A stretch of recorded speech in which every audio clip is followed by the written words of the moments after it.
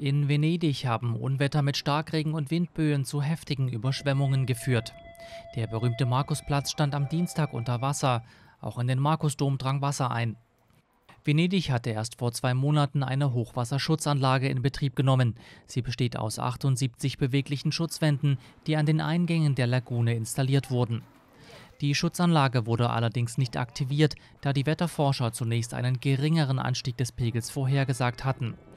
Als das Unwetter dann heftiger ausfiel als erwartet, war es für eine Aktivierung des Schutzwalles zu spät. Sie benötigte einen Vorlauf von 48 Stunden.